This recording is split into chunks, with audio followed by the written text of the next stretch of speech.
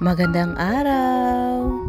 So, for today, gagawa tayo ngayon ng pickled mango dahil marami tayong uh, tirang mangga na pinitas natin.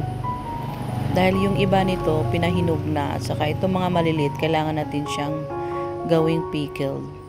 Magbabalat lang tayo ng mangga.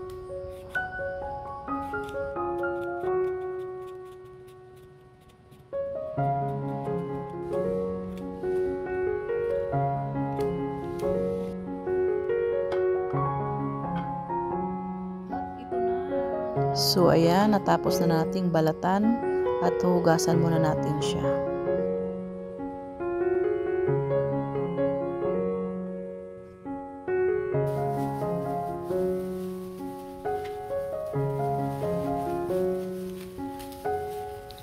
So, pillar nga pala ang gagamitin natin para manipis lang yung pagkas hiwa niya.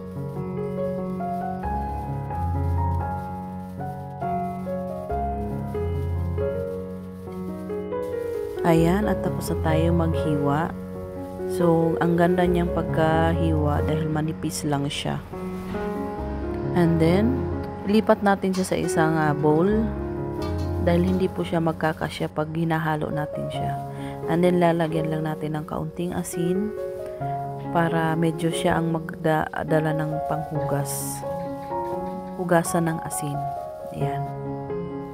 And then, huhugasan ulit natin And then, ayan na siya. So, i-drain lang natin yung tubig niya. Dito naman gagawa tayo ng uh, syrup. So, bali yung tubig, uh, ah, 4 cups of water and 4 cups of vinegar.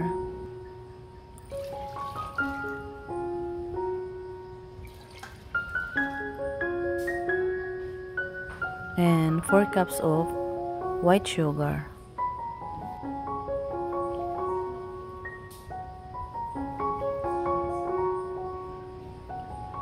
And then, halo-haloin lang natin hanggang matunaw yung asukal. So, pagkatapos niyan, uh, pakuluan lang natin ng ilang minuto. So, after pagpakulo, pinalamig na natin yung ating syrup. So, dito naman sa uh, ganitong lalagyan, kahit anong lalagyan, uh, dito natin ilalagay at, at imamarinate natin siya or ilalagyan natin siya ng syrup.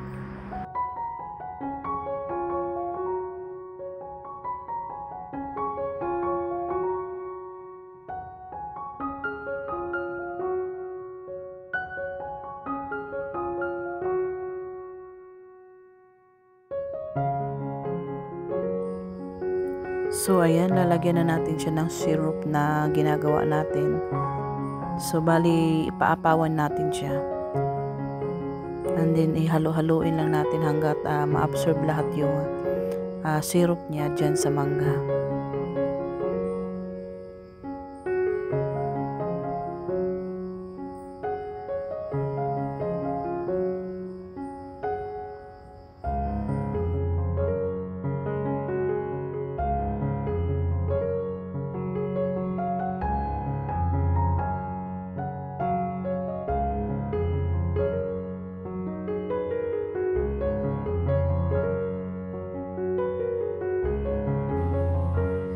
So ayan, nakagawa tayo ng tatlong uh, ganyan kalaking uh, tab o tupperware.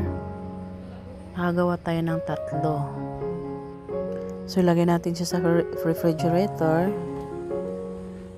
After uh, ilang days, tatlong araw ko siyang nilagay doon. Uh, ito na ating uh, pickled mango. Homemade pickled mango.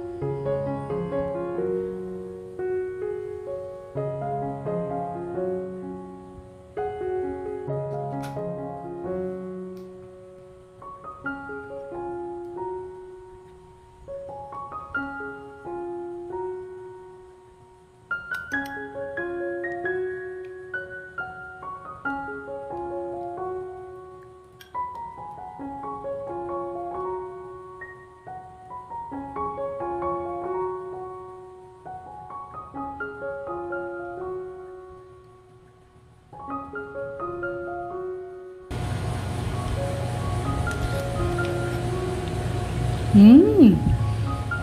Mmm, sarap. Ang sarap.